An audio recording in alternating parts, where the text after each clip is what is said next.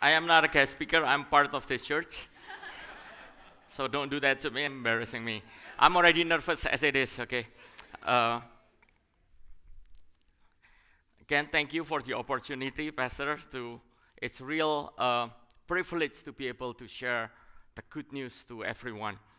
Uh, but before I start, what I really want to talk about today, I want to recognize what has happened in this country.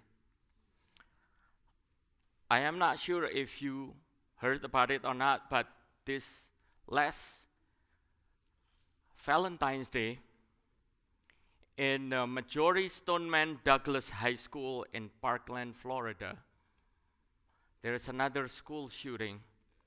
One student that was expelled the year before came back and started killing other children, other students uh, 17 people. As a result, 17 people was killed. Majority of them are between 14 to 18, mainly 14, and several of the uh, teacher and coaches. You know, I cannot imagine how a parent would feel. You take your children to school in the morning, but you can never pick them up again because they die. I don't think any children should go to school and not return. And I don't think any parents or any adult, instructors, teacher, coaches should go to school and never return. So I want us to, you know, remember this family in prayer and remember this young generation. We pray that God can give them comfort, give them strength. When this kind of thing happens, it is really difficult to understand. We think God is good, He's faithful, endures. But I, it is very difficult for parents at this moment at that high, high school when your children is being shot and killed. As a believer, we know that what the enemy meant for evil, God can turn it to something good. But it still does not negate the hurt, what they experience. I believe that God never got off, caught off guard because He sees the beginning and he also sees the end. Sometimes we wonder what this society has come to. But I hope at the end of the surface we all know and can make a decision what God, the assignment that God put in our heart, what we need to do. Because God has purpose in each one of us. The fact that we are still alive today we are not done. You know, I immediately hear all the politicians jumping from both sides, jumping into the discussion, promoting their own agenda, more, maybe more laws, maybe less gun, maybe more gun. You know, but I'm not here to discuss any of the politics or law. We know that all these new laws and politics it doesn't seem, I'm not sure if that's effective because the fact of the matter is we keep hearing this more and more. It seems like the violence increasing all the time, regardless of what the politician is doing. But one thing I know for sure that this society need the good news of Jesus Christ. They need to hear since I'm, I'm not sure if you guys know the history since early 60s uh, they decided that in the name of separation of church and state, they remove all the prayer from school. When they do that, they remove God from the school. They remove the protection of God from school. They don't teach anymore right and wrong. Everything is relative. No wonder we, we wonder why all the young generation they grow up and does not know right and wrong. They do not have any standard of what's right and wrong. Instead, everything becomes relative. If it's good for you, it, it's good for you. They don't have anything that can anchor their moral into a standard. They lost their moral compass because we removed God. So, what we need is God. Now, let me tell you, it's not all gloom and doom. You know, when Elijah prayed after he win the tournament with the Baal, he said, God, there's only one me. And God said, you know what God said? No. There is still a remnant of people that never bow down their feet for Baal. I want to take this opportunity now to pray a little bit for these people and for our young generation. I want to invite uh, Shannon and uh, Rachel to come forward.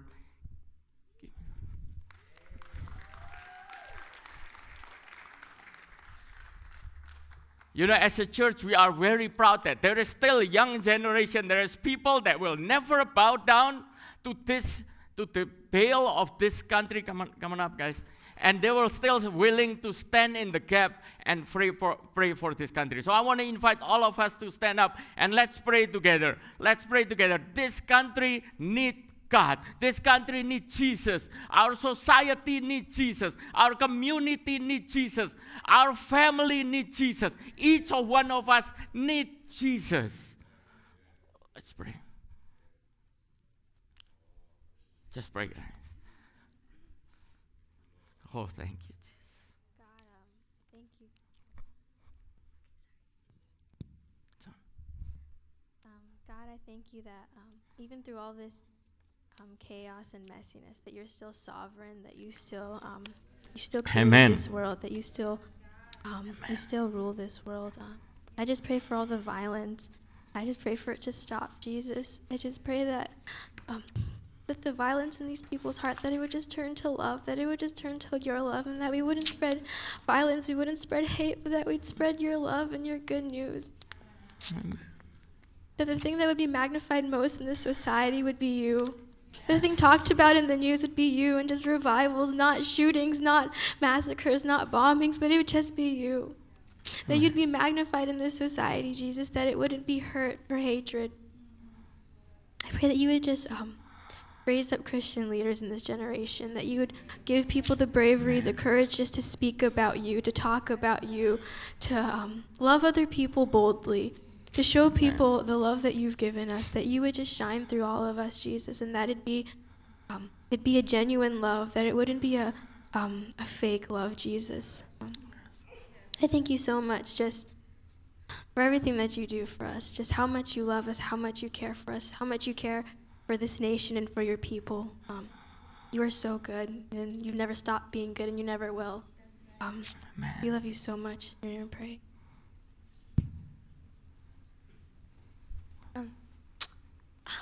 Jesus, uh, we just, whatever happened this past week was super unexpected. No one knew it was ha- uh, going to happen.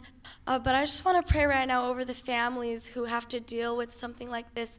They didn't know, like what Pastor Jonathan said earlier, that imagine going to school on an ordinary day and, and just you're not able to go home. And imagine those parents who, who are just waiting for their children and they, they, they find out that they can't pick up their, their, their kids we just want to pray over those families right now, whatever emptiness that they have, that they would they wouldn't fill it up with the wrong things, but that they would fill it up with you. They would fill it up with your love, and that you just give them peace and joy in, in their lives, and that they would just receive you. And wherever they're running to, that if it's if it's not a part of your plan, that they would run away from it, that they would run to you instead, that they would come and find you. They would they would just receive you and just understand that through all of this, it's a part of your plan, and that they won't they won't um, be angry at you. You just give them peace, uh, and yeah, you just bless on every single one of us. In Jesus' name we pray. Amen. Amen. Amen. Praise the Lord. Amen. You may be seated. You know, the media is continuously covering this and presented with a lot of different opinions. You know, this tra tragedy is really, really horrific. But I want to also bring to your attention other tragedy that are horrific, but the media seldom mention about it. Let me give you an example. Infant mortality rate. Do you know what infant mortality rate is? Infant mortality rate is the number of the baby that died in 1,000 births. If there is 1,000 birth of babies, how many babies actually does not make it one year up to the, the first year birthday in a certain area? That's called infant mortality rate. CDC and the United Nations gather a statistic of the number of the infant mortality rate. The worst one, which is the highest, the highest is the worst. Okay, the highest one is Afghanistan with the number of 112.8. So it means there's every 1,000 child being born, 112 kids did not make it to age one. And then followed by another African country. United States, America, is number 170. So actually, the lower we are on the rank, the better it is, obviously. The rate is 5.8. So it means less than six people died in one year. Less than six babies die in one year out of 1,000 people, babies being born. Got that one? Okay, it's still an unfortunate that there is six baby that died, but if you look at it, the history in the last 100 year, the number has declined 95%. In the early 1900s was over 100 because of the good technology and everything, now it drops to only 5.8. But one thing that we seldom hear is the intentional ending of life before they even get a chance to be born. In other words, that's an abortion. The society would like to think hey, since they are not human beings, it's okay to be killed. Obviously, that is not true. That's a discussion for another day. But I would, what I would like to bring to your attention today is the scale of the number of victims out of this tragedy. The CDC, which is Center for Disease Control, the one that actually manage uh, any disease or anything that causes people to die, they have a statistic from 1973. The reason 1973 is 1973 is when abortion becomes legal. Up to 2017, the total for 44 years, somebody is still calculating 73, 2017, that's 44 years. Anybody care to guess the number? 54 million? Anybody else want to guess? Very close. The actual number is 60 million 69,971. They keep track because this is the legal one. The illegal one, we don't know. Okay? This is out of 1,720 clinics in the United States. So on the average, if they perform only 2.7 abortion per clinic, it reaches this number every day. Okay, so if you calculated 60 million divided by the 44 years, on the average would be 1,365,227 abortion annually per day, um, per year. Now divide that by 365, we got the number per day. Per day is 3,740 babies being killed per day. If you compare this thing to a school shooting, which only comes 180 days per year, they don't come every day because we can, we don't go to school, the number would jump into 7,585.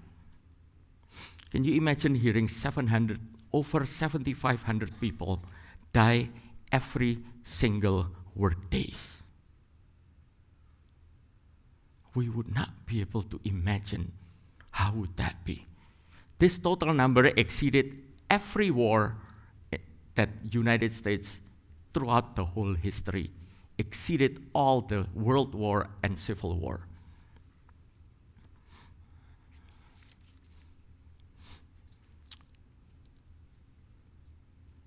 The shooting is really horrific tragedy, but it pales in comparison to the intentional killing that we as a country have done. You know, we're not talking about abortion today, so don't worry. Uh, I just want to make us aware how far we have gone away from what is right. Just because it feels comfortable, everything seems to be okay, we as a nation ignore certain things. Actually, that was in the Bible. Apostle Paul mentioned that in Romans 11 9 David spoke to the same thing when he said, Let their bountiful table become a snare, a trap that makes them think that all is well, and let their blessing cause them to stumble. We need to, as a, as a believer, we need to really be careful of what the blessing that has, God has given us and forgetting about all the tragedy that happens. The bottom line is we need Jesus. You know, this country needs Jesus. We all need Jesus. This society needs Jesus. This community needs Jesus. We all need Jesus. Apostle Paul asked a very good question actually in Romans 10 14. Romans 10 14. How can they call him to save them unless they believe in him? And how can they believe in him if they have never heard about him? And how can they hear about him unless someone tells them? And how will everyone go and tell them without being sent? That is why the scripture meant when they say, How beautiful are the feet of those who bring the good news. With that, it brings to what I really want to share today. I want to share what is what is my or yours next yes. That would be my title for today. What is our next yes? The reason I'm saying it's a next yes because we say yes to a lot of things. You know, well, we have next thing, but what would be the next thing that we are going to say yes to? Let me tell you, when we say yes, life being changed. Life is changed. We say yes to 45,000. When we say yes to Light on Miracle Hill, 45,000 people hear the gospel. Now, it's not just their life being changed, but I think our life being changed. The way we see the Word of God is different. The way we minister is different. The way we, our next step of the next years would be different because our experience in the past. That's how we build our faith. You know, there are many areas that we can say yes to. I'm nervous, that's why I'm, my mouth is dry. You know, when our this year our theme is multi, multiply. If you're saying just one yes, we're probably gonna do the addition. If we want to say multiplication, we gotta say yes and yes and keep saying yes for bigger and bigger thing. Because when you say yes, you're going to say yes to bigger thing. Just like the parable of the talent. You know what Jesus said? If you faithful for the little thing, God is going to give us big thing. If we faithful for saying yes with 45,000 people, we probably is going to see a lot more than that. You know, so there are many areas that we can say yes to. Some of us may need to say yes to God's love. Some of us may, see, may need to say yes in receiving Him. Some of us may need to say yes to turn ourselves 180 degree and repent. Some of us need to say yes in growing our faith. Some of us need to say yes in joining a body of Christ and ministering. Some of us need to say yes to be disciple, and some of us need to say yes to disciple. You need both of them. But all of them required for us to say yes. There's a lot of yeses that we probably should not say yes to. You know, there's not enough time in, the, in our lifetime to say yes to everything. And there are some yeses that are not very beneficial. So don't say yes to any of those things. You know, don't say yes to too many party on weekend because then you can't go to church. Uh, but they, they, talking about this, what I'm talking about today is saying yes to what the invitation that God has given in our life. Not just individual, but us as a corporate church. What are we going to say yes next? I want to leave the, by the end of this, I want us to think about what would be your next yes. What is God going to tell me to say yes to? When we say yes, life is changed because most of us did say yes to Light on Miracle Hill, and it's pretty crazy. You know, our responsibility is to sow the seed. Our responsibility is, is just to, to, to, you know, it may not grow today, it may not grow tomorrow, it may not grow next year, it may not grow even a decade from today. But let me tell you something Yes, some of the may are the seed that we sow may, sow, may fall on the hard ground. Some of them may fall on a thorn bush. But let me tell you, some of them will fall on a fertile ground.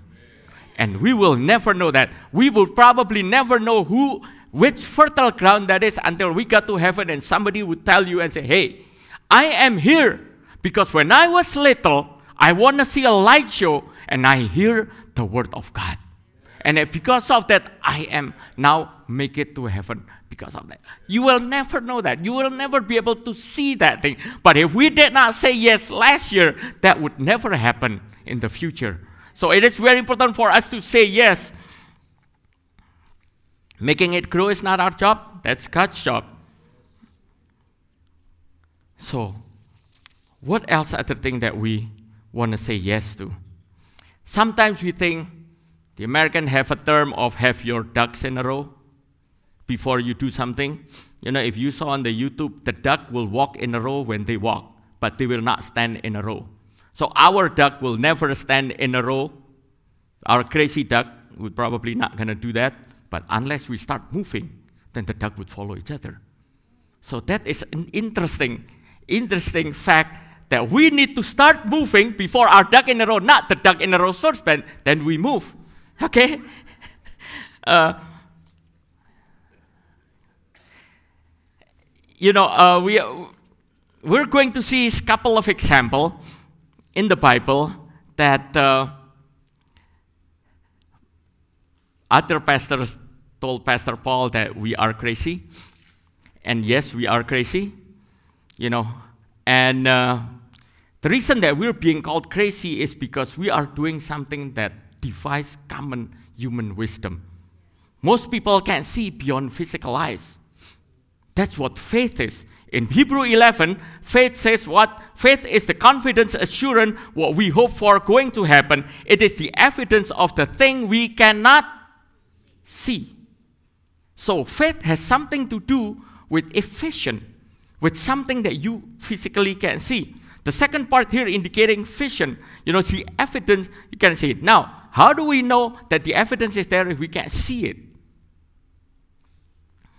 Helen Keller, one, you know, Helen Keller, she's, she's blind. Somebody asked her, uh, Is there anything worse than being physically blind? Her answer is being able to see but have no vision. And the Bible mentioned about that. Without vision, my people perish or my people cast restraint. Cast restraint means you don't care, you just do whatever you want.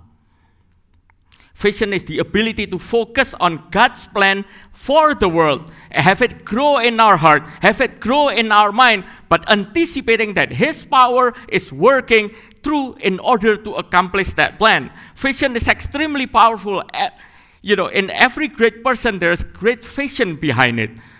Throughout the scripture, we know that when God's, when we say yes, God will show us a new vision. When we say yes, he will invite us to be a part of something that bigger than ourselves. He will invite invite us to see something that goes beyond our timeline. He will show us evidence our physical eyes cannot see. It may not be easy because yes, include, yes, require that we put the very best for of ourselves. When we say yes, he will include to say a part or something that will outlive us. You know, when we say yes, it was gonna go to beyond, beyond the, beyond our individual, beyond all of our individual exi- uh, uh, existence. When we say yes to God, He will call us to something that goes beyond safety, that will go beyond common sense, that will go beyond our ability to even comprehend. He'll include something bigger than ourselves, such that if supernaturally He does not interfere, we will not be able to make it. That is the area where God called us. At the end of the day, it's all about Him. It's not about us. With this theme of multiplication, most of, most of us probably refer to, we mentioned it multiple times with the feeding of 5,000. That's a classic example of the multiplication. But I want to look at from a slightly different angle, uh, happen when somebody say yes, actually. When Jesus saw the, saw the crowd, to him he asked Philip, Philip, where are we going to buy bread for all these people to eat? Well, he asked Philip, when, remember, when God asks you a question, he does not look for information. Okay? He's checking on you. Okay, so don't give me the, the, the answer that you think might be right. Okay, so he's checking on you. He, if he needs to, he already knows the future and the past. So it really does not matter. So the Bible says this is only, the Bible actually mentioned this only to test Philip. But Philip did not exactly say yes. If you notice, Philip was a little bit confused and did exactly say yes. Because the real reason Jesus asked him, if Jesus wants to show Philip something, Jesus wants to show the little boy that bring the five loaves of bread and two fishes, uh, showing something, a vision you know, they want to show the disciple a new vision. They want to show the crowd a new vision. They want to show them who he is.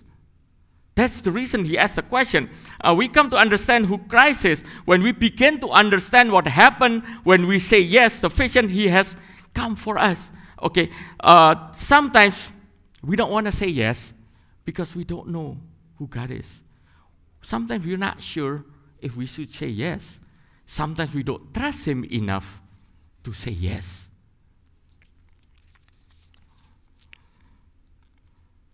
In the book of John, this miracle, God used this as a window to see who God is. He wants to see who Jesus is. Unfortunately, at that time, Philip can't see it clearly. He asked, he, Philip's answer is uh, eight months of wages would not be enough to buy bread for each one to have a bite. So it's not even one loaf per person, it's just a bite per person. It's not enough with eight months worth of wages. What we learn from this is God constantly initiating an invitation for us to say yes. Did you notice every day God invite us to join something, to be a part of something that bigger than ourselves? The issue is sometimes we're are not trained ourselves to hear the word of God. We're not trained to perceive His voice. We're not trained our visual, uh, our spiritual eyes to see the vision of something that bigger than us. We always measure, I can do this, so this is how much God can do. That's our measurement stop, stop in there. We need to trust Him and we need to learn to see something that the evidence that we cannot see. But in order for us, when we say yes, let me tell you something. When we say yes, He invites us to catch a vision that includes something that's bigger than us, that bigger than individual us. That requires for us to move in, to breathe, to live, and to exist in the new realm of God. I want to call that a God space. So you enter, when you say yes, you enter into this God space. This God space, what is this God space? This is where the need are greater than the resource. For us to run the capital campaign, even if all of us give fully what we pledge, we still not have enough. We are not doing capital campaign with our own strength. We're entering into God's space when the needs are greater than the resource, when the opportunity is greater than our ability. This opportunity is way bigger than what we can do. It is a scary place, let me tell you. It's not something that you walk and whistle in. It's, it's, it's, it's dangerous. But when, when people, here's the thing why we're being called crazy is because we're entering a space that other people cannot see. We saw it. We saw the vision. We saw the instruction. We say yes. We enter to God's space. Everybody on the outside looking at it and go, You are crazy. You know, I think it's an honor to wear, wear the badge of being crazy for God. I'll take that. When we are in God's space, it does require a complete and immediate obedience. That's a tough one, you know, because with our own strength, we can't get much. Okay, it's not about us, it's about Jesus. He's inviting us into flow into His current, and His current is bigger, way bigger than our current. Anything that we can see, anything that, that, that required a complete and immediate obedience. He wants us to see a, vision within God's space boundary. Don't look at outside because the outside people looking us think we are crazy. Positively crazy. Uh, Moses, when he has the Egyptian behind him and he has the Red Sea in front of him, he entered into God's space. God opened that thing. When David facing Goliath, he was in God's space. That's why it's the the giant is way bigger than he is, but he was entering into that because then at that moment, it's not by our strength, but the Holy Spirit started taking over. When Eli- Elijah, when Elijah with the 450 Baal have a competition of fire, he was in God's space. That's why God moved because he cannot bring his own fire. It is a space when we move, we breathe our existence based on the Holy Spirit. We enter the space and saying yes to God's invitation. You know, tell you the truth, it's like a dream seeing 5,600 people in this property.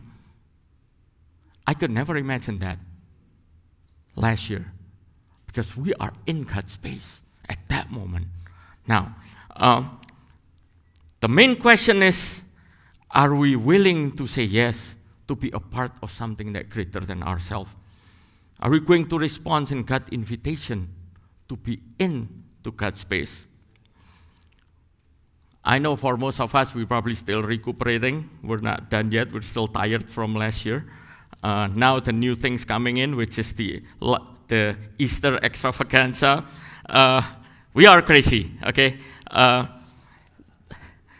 you know, it's nice to not knowing that all your duck is in a row because, to be honest with you, if somebody would tell me there will be 5,600 people show up in one day, uh, I would probably check it out.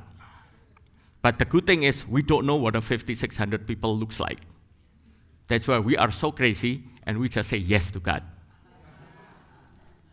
Just to be honest with you guys, you know, I don't know if, if, we know how crowded is 5,600, we would probably running without thinking, we probably, no, no, no, God, that's, that's way too much. Now let's look at it again back to the, to the story from a different point of view. Can you imagine at that moment, this boy bringing five loaves of bread and two fishes, uh, attending this seminar, uh, whole day seminar, but no break and no food. So he bring his little lunch with him. When Philip looked at him, Philip probably say, "Hey, uh, what do you got there?" Uh, my lunch say, uh, Can I have your lunch? Said, Why? Of course, he's going to say why, right? Uh, Jesus wants to feed this 5,000 men plus a woman and children with your lunch. Well, At that moment, he got a choice. He can say yes or he can say no. Now, outside God's space, he's going to say, Well, if I give you my lunch, what am I going to eat? Anyway, if I actually let you have my lunch to feed all this thing, it's not going to be enough. It doesn't make any sense to give this meager lunch to all these people. But at that moment, he, he decided to say yes. You know, I got a feeling that at that time he's going, I'm going to say yes and see what happens. Let me see what God can do with this little lunch. So he let it have it. He decided to enter to an area and provide a need that bigger than the resource. He was entering into God's space that's way bigger than what we can handle. Once again, we need to remember that God won't do it without us. Not that He cannot. Okay? Not that He cannot, but He gave us the privilege and the opportunity to be a part of something bigger than our, ourselves. To be absolutely, because absolutely without Him, we cannot do it. He can probably pick the donkey and the rock to worship Him, but without Him, we can't do anything. You know what this boy have? He have a material for a miracle. What we bring is a material for a miracle. Moses didn't have much, but he does have material for miracle. David didn't have much. Five rock against guy. I mean, you know, you need a real skill to sling that thing and have the rock hit the point. If you don't believe me, go try it. It is very difficult. Now, you know, when we have gone, we have all the scope and everything. He had nothing. And he just sling that thing because he knows that within God's space, your ability stops and replaces with God's ability. Immediately, everything become un- unlimited possibilities. Okay. Our church, if you look at it, our church is not that big. But when God asks us, show my love, spread my gospel, show the good news to people, we're willing to do it. We are willing to be a bigger a part, to enter to a part that are bigger than ourselves. It does require the best of us. It does require sacrifice. Okay, don't get me wrong. It is saying yes, it's, it's, it's rather expensive. Now, actually, if we calculate it, it, it does cost everything for us. But let me tell you, entering into this God space, something bigger than ourselves and something that will outlast us. Let me tell you the proof of outlasting us. This boy that bring the five loaves of bread and two fishes, he's dead. He 2000 years ago, he's dead. I mean, he got old and completely died. And guess what happened? We're still learning from him and talk about him now. That story lasted his lifetime. And we're still talking about it. And I do believe as long as this earth's still here, we will still keep talking about him. That he is willing to enter into God's space. There's a lot more example in the Bible.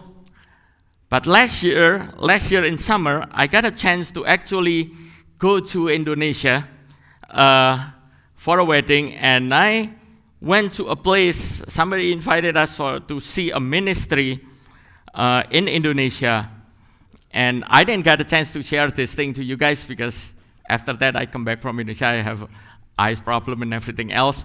But I want to share to you uh, something, the opportunity that I, have, I was able to witness firsthand, seeing what type of things God can do when people are saying yes. It's an incredible thing when people say yes, what God can do through, through those people. Okay, Hilly and I went to Makassar. Uh, first time when we got there, we got there the afternoon, somebody picked us up, and they showed us a ministry on uh, mental illness.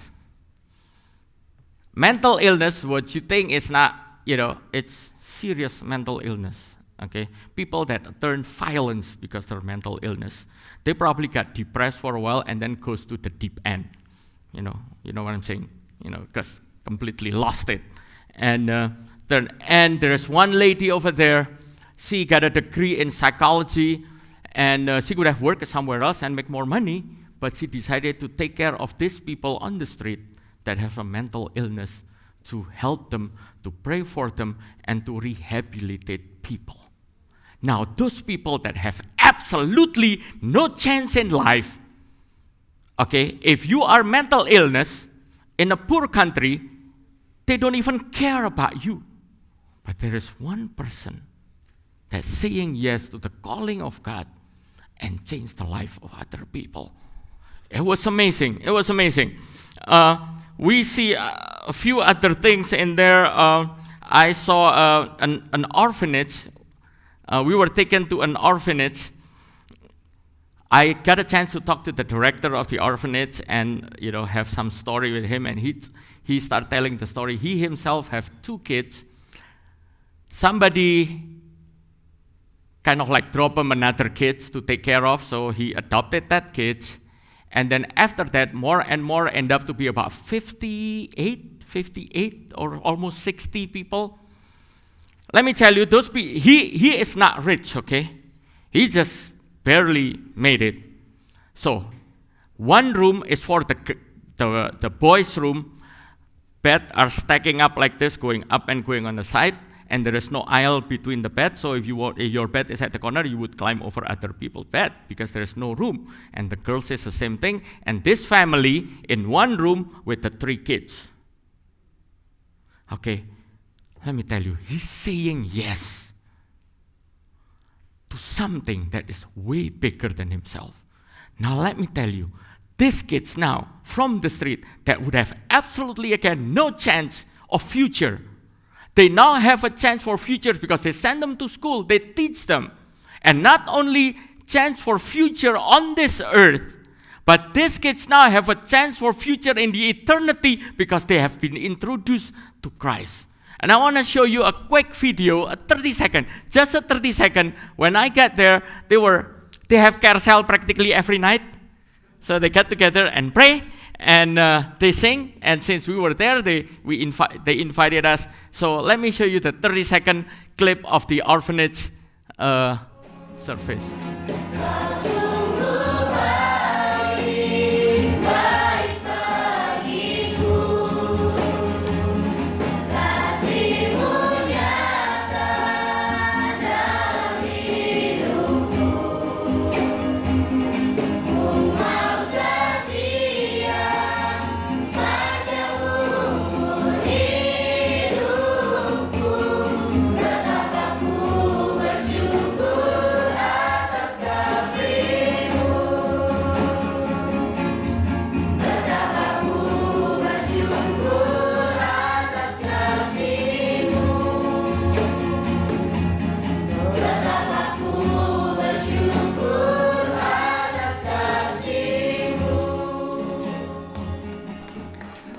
For those of you who doesn't speak Indonesian, the, the word of what they're saying is God is so good. I'm really thankful for his goodness. I mean, it's amazing. Those kids, they don't go home at night. That is their home. They got no family and they're in the orphanage. When they start singing, I start crying. I mean, it was so touching having people with no parents there, I don't know if there's, there's probably one or two siblings, but they have no one else in this world. Somebody saying yes to take care of them so that they can have a future. And that was amazing. And there is, uh, and then I was taken into a different area, which is a school for the blind. The director of the school of the blind is blind. That's give a new meaning of blind leading the blinds. Now, they explained to me what they're doing over there. They teach them how to use cell phone with a touch screen. I can understand if they use BlackBerry with a keyboard. Now, How do you do touch screen on a phone while you are blind? I really, really want to see this. So uh, they actually install an app that everything appear on the screen is being read out loud in voice. But since their, their eyesight is not there, but their other senses heightened usually. So the, the phone was talking to them at about eight times the speed. I can't even catch anything. So they turn on the phone, the phone would go, oh, and then and then they would, okay, okay, type M, and then once they found one area of the keyboard that's saying on the on the touch screen, and they can type the rest of them. And then they go, what in the world is that? So they're listening and they're responding. I mean, when you say yes, this is really going beyond the expectation beyond the area of what God can do. I mean, what people can do. But so, but God can do it. And there is other thing. There is a ministry. They have a school of the ministry for people that want to serve Christ. In order to get there, you have to drive maybe two days and then ride on a motorcycle. Uh, it's a taxi motorcycle. It's beyond you guys understanding. Uh, you go over off road, not because you enjoy off road, but because there is no road. Okay, so let's let's get the off-road here term kind of straight. Uh, it was a lot of amazing thing, and there is other ministry that that uh, uh, uh, that I saw. But today we have the privilege to see the leader of that whole ministry that say yes to God and starting with all this music. I want to welcome Pastor Effort. He is from Makassar. He's the one who invited me to go over there, and I want to give him a chance to actually share a little bit. Let's give him a warm welcome. Anything you want to say, man?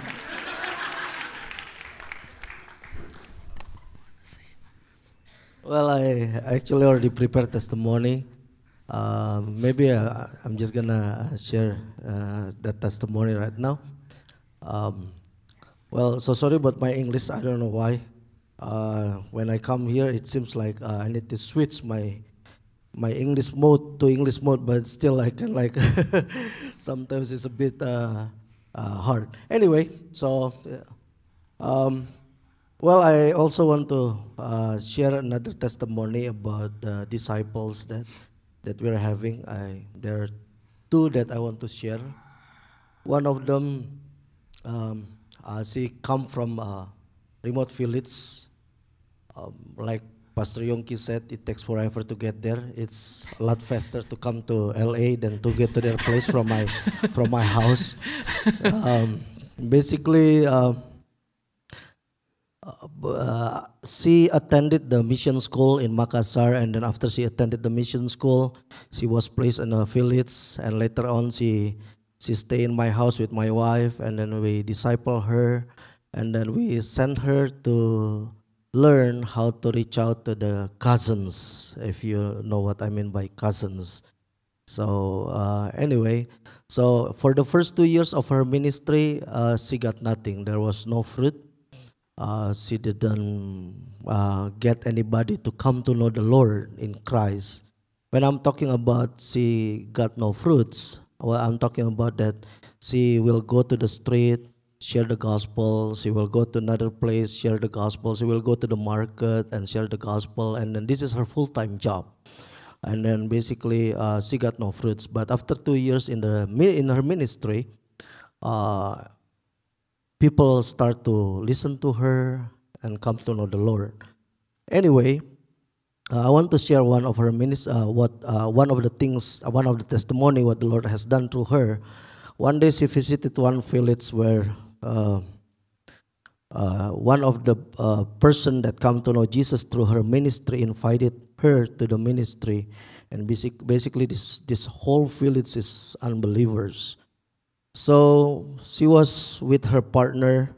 They were talking in one place, and then all of a sudden they they heard the people scream, and then uh, she came out with her partner from from that place and then she saw like a lot of people in in front of the house and then so she tried to get into the house and then after she got into the house she find out that the the wife of the chief of the village uh, got stroke. She was dying. So and then uh, the whole family uh, in the village in Indonesia is like when somebody got sick, got stroke like that. It's like it becomes like everybody, uh, you know, it becomes like everybody. I mean, like everybody wants to to to do something for that. So and then all of a sudden she had the boldness to ask the family, "Can I pray for her?" And then the, the husband, the chief of the village, say, yes, you can pray for her. And then she said, but if I pray for her, I pray in Jesus' name. Is it okay? And then so the, the husband said, yes, it's okay. So before she pray for her, uh, before she pray for her, she then share about who Jesus is, how Jesus healed the people, how Jesus uh, pray for the dead and the dead resurrect got resurrected, and then she also shared about how Jesus heals the blind. And then after her uh, short testimony, and then she started praying with her partner. When she prayed, while she was praying, all of a sudden the fear come to grasp her, overwhelm, overwhelm her. Because when she was praying, she started to think, what if this woman will not wake up? What if she's not healed? It seems like all of you like it's okay. well, this is a big deal because this this village is uh, like what I said is a cousin village. Uh, what I mean, they come from uh, the major religion in Indonesia. So she was so uh, you know so she was so fearful. So she pray longer than, than usual because she expect that when she pray, the woman will wake, up. But even though she already pray longer, the woman still don't wake up because she was stroke. I mean, stroke got stroke badly. So after she say amen, she look at the house and everybody eyes were looking at her you know, there were like about 50 people were looking and staring at her and try to find out what happened. So she told me that this is like my the longest two three minutes ever in my life because you know I already pray but nothing happened. But after the three minutes, the woman got up. The woman asked for food the woman literally walked. That's the first one because of there's somebody that want to say yes to reach out to the lost. The second one, she also uh, finished from the mission school. She was she used to work in the restaurant, so re we reached out to her when she was in the uh, she was working in the restaurant. She never graduated elementary once again, I said she never graduated elementary. So basically, after she finished her uh, mission school, we sent her to one village. uh, in order for us to get to that village, it's like we have to go by bus 12 hours, and then we have to walk for another five hours. So yeah, so that's how far it is from Makassar. But uh, after a few months, then I got the report that the Lord is using her through healing gift. So she prayed for people, people got healed, and then uh, because of her ministry, three churches were, was planted around this area. So there are three city blessing in that area because of this this woman who wants to say yes. So the testimony that I want to give you is that one day that I visit one of the villages, so I asked her to come along to, to join us for fellowship in that village. She has to walk about three hours to get to the village where I visited. Uh, and then uh, the other full timers as well around that area. So we had fellowship around there. While we were there, a man come with a motorcycle. He was driving uh, the motorcycle for about six hours, he said and then he was looking for, for this woman. And then he begged this woman, please come to my village. I got uh, I got a niece that actually a few days ago she already come back from the hospital. The doctor already give up, and her situation is just getting worse. It's about time that to, for her to pass away. But I know I heard that you have the healing uh, gift healing. So would you please come and pray for her? So the lady asked for my permission. Uh, the woman, uh, Pastor, can I go with him? And I said, Well, our fellowship isn't finished yet. Why don't we gather and pray for the baby, and then tomorrow you go to that village? So she gathered a few of the prayer, pray together for the baby. Basically, the next day, the next morning, I went back to Makassar, and she went back to she went to uh, with that uh, guy to that village. And then the day after that, she called me. She, uh, she told me, Pastor, do you remember that you asked me to pray in that, you know, right, right over there? Yes. So she said, when I come and arrive in that village, her mother just embraced me. And her mother just told me, Did you pray for my daughter?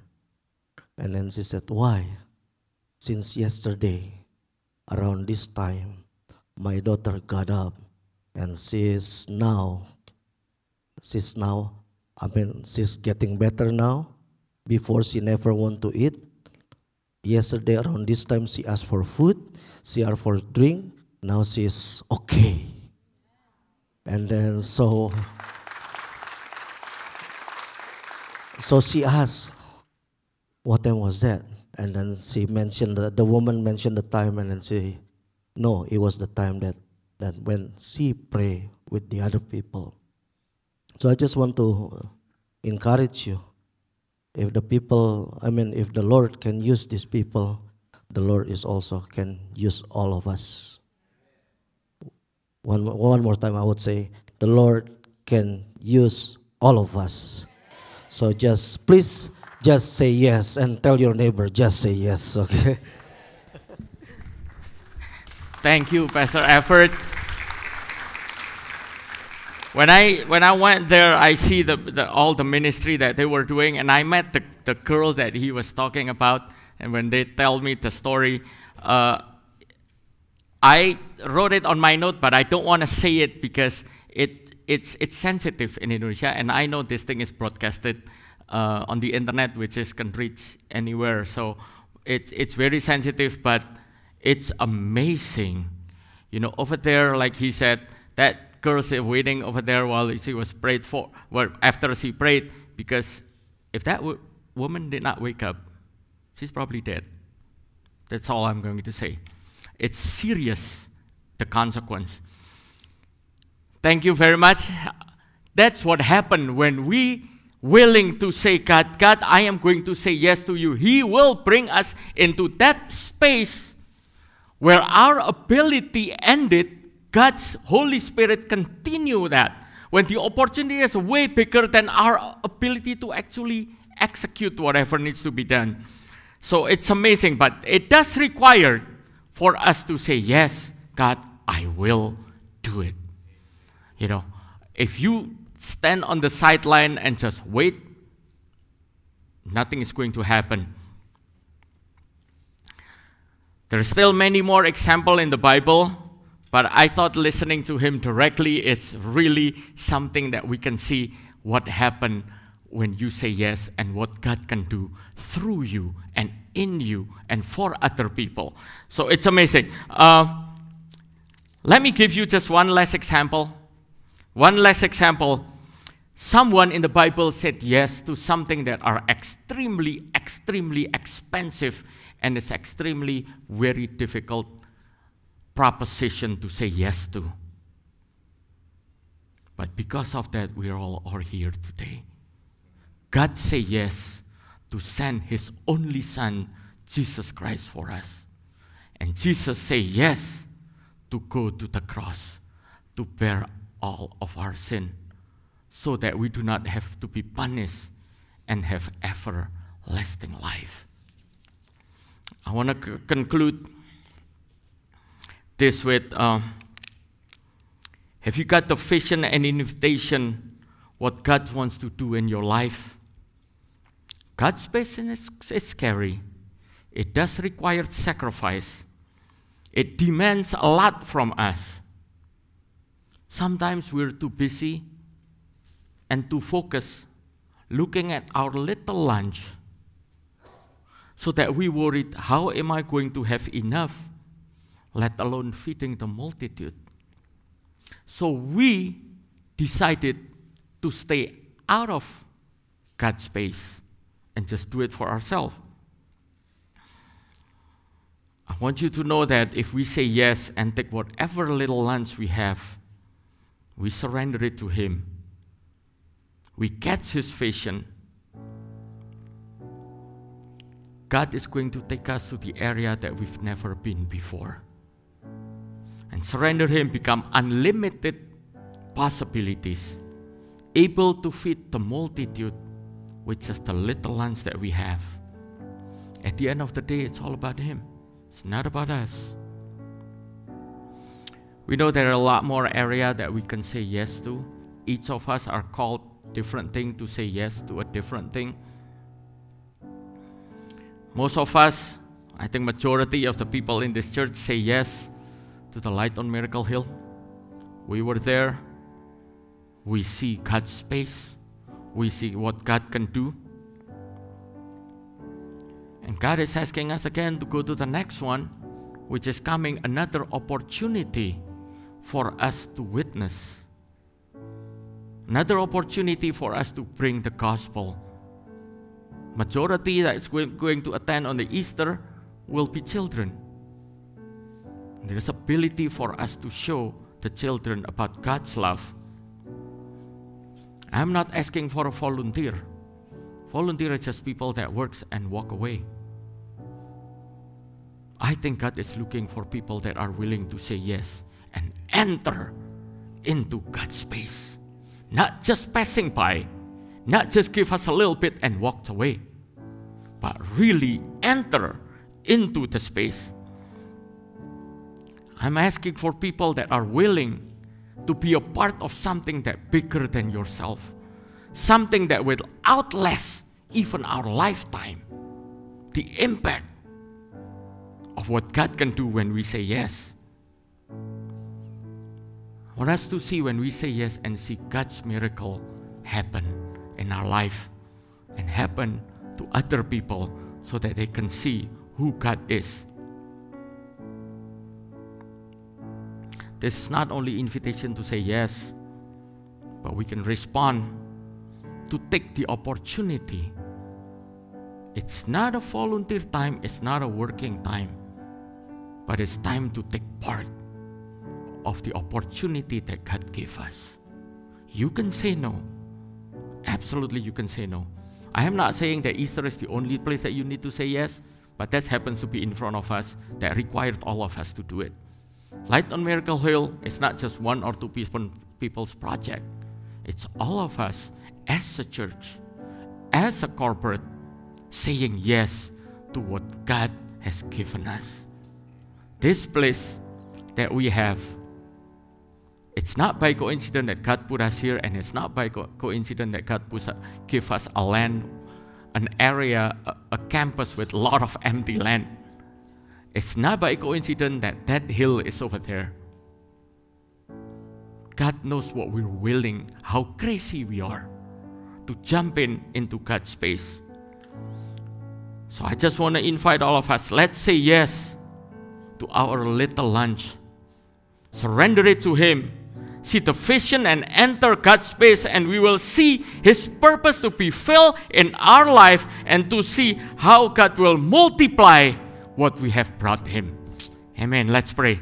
Lord, I want to thank you, oh God. Thank you for the opportunity, oh God, for all of us to be here. For the opportunity, oh God, for you to give us that we can enter and we can see who we are serving We are not just serving a boss, but we are serving the King of Kings and the Lord of Lords that, that, that can perform miracle beyond that what we can do, oh God. Lord, I pray, oh God, that each one of us, as we face our day-to-day work, as you ask us, are we going to say yes? Are you going to say yes to witness to your co-worker? Are you going to say yes to be to, to give to somebody? It's, it might be something that you don't have, but will you say yes to that so that God can use you, so that God can move you into something, an area of His space that goes beyond your ability, that goes beyond our, our opportunity, that goes beyond everything that we ever know or imagine.